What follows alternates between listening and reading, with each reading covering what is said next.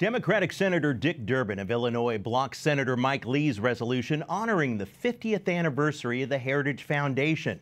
Now, Senator Durbin said his objection was due to the committee rules and not on the basis of the conservative organization's mission. The think tank in Washington, D.C. is celebrating its 50th anniversary with a two day summit.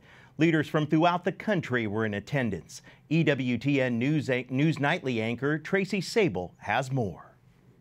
Welcome indeed to what is going to be a momentous week. This morning, Dr. Kevin Roberts, president of the Heritage Foundation, kicked off the two day event celebrating the organization's 50th year. We're so excited to be here at the Gaylord to bring together over a thousand like minded conservative activists all across the country to talk about the issues that matter most to Americans. Jessica Anderson is one of the thousands gathered here today to celebrate the important milestone.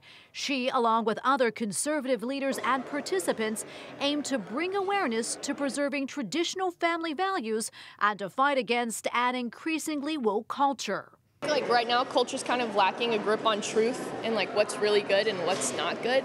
And I think um, being able to make that palatable to young people is super important. Also important to those here today, the life issue and defending the unborn.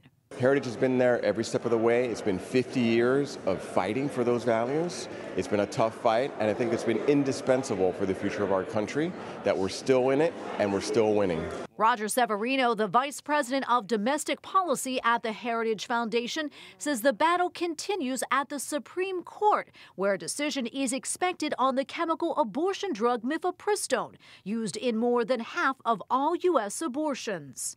We'll see what the Supreme Court's going to do. Whatever it does, that'll be the first step of this big debate as to whether or not the FDA had the authority to declare pregnancy an illness and treat unborn children as somehow a problem as opposed to something that needs to be valued and cherished. Paul Faraci from Alexandria, Virginia agrees. As Catholics and as Americans, we've got an election coming up. We have to uh, consider how our values are under attack. Of those attacks, the rights of females.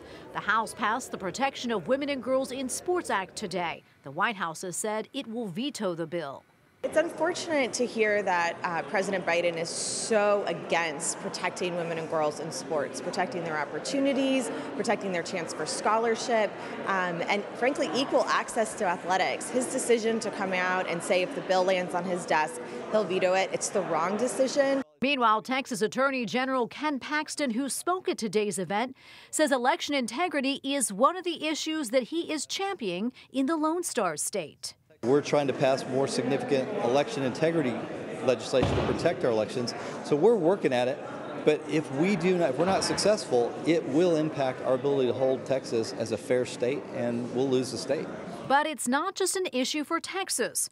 Attorney General Paxton says it's an important issue for all voters. It is a real issue, and they should be talking to their legislators about making sure that their elections are fair, free, and protected. From National Harbor, Maryland, Tracy Sabol, EWTN News Nightly.